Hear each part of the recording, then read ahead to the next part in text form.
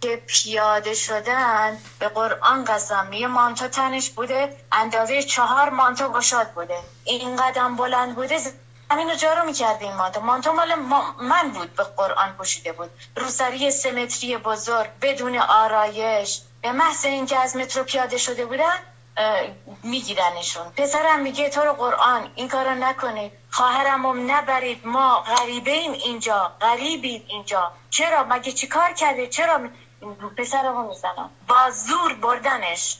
بردنش اونجا دیگه من نمی‌دونم چه کارش کردن واقعا. آخه باید توضیح بدن. به چه جرمی؟ به چه حقی؟ یه مظلوم اینجوری می‌کنن. چرا این کارا رو سر مردم در میارن؟ سر من سالم و سرحال بوده. اومده اینجا بردنش اونجا. دختر من سالم بوده. اینا ریش کردم. نباید هم اعتراضی بکنیم. هیچی بگیم. من مامانشم دارم دقمت میشم. دختر عزیزم رو تحت بیمارستان افتاده.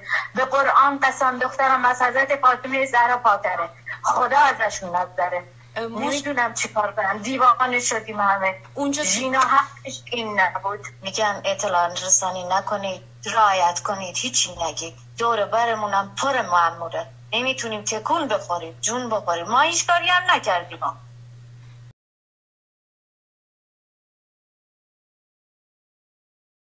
ژینا کچی کوردستانە ژینا دوتا ئەزەربایجانە ژینا کچی خوزستانە ژینا کچ بەلوچستانە ژینا خۆشی هەمومانە ژینا خۆشی هەمومانە جسم تو خسته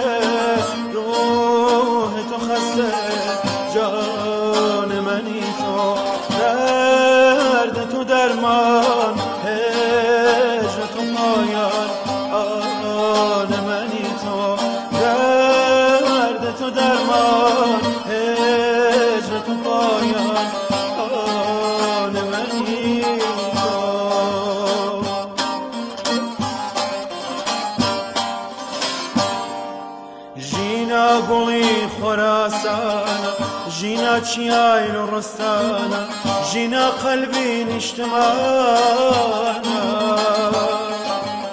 ژینا ئاشتی بۆ جیهانە ژینا ئاشتی بۆ جیهانە ژینا خۆشکی هەمومانە ژینا خۆشکی هەمومانە تو خسته روح تو خسته جان